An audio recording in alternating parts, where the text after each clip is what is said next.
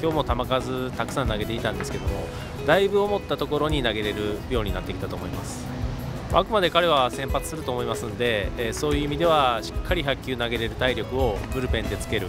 まあ、そういう意味で今日は100球超え投げたと思いますけど。今日ちょっとバッターを立たして投げたかったっていうのがあったので、まあ、そんな多く投げるつもりなかったんですけどちょっと投げすぎましたね。まあ本当先発のローテーションに入るためにアピールしてないといけないと思うので、でまあ、結果がすべてですけど、まあ、少しずつ小さいものを積み重ねていけたらなと思います。まだまだやること多いんで、えー、しっかりと一個一個ね、